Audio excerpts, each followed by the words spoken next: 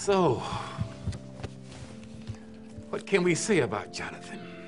He'll be missed by Mr. Buttons.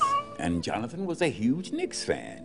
And they just tied it with a minute left. And his beloved alma mater was highly acclaimed. He'd like that. So on the road of life, keep Jonathan in your hearts and don't take the LIE. There's an accident at the Hicksville exit. Powerful. The Power of Newsday, now in an app, free to Newsday 7-day subscribers and Optimum Online customers.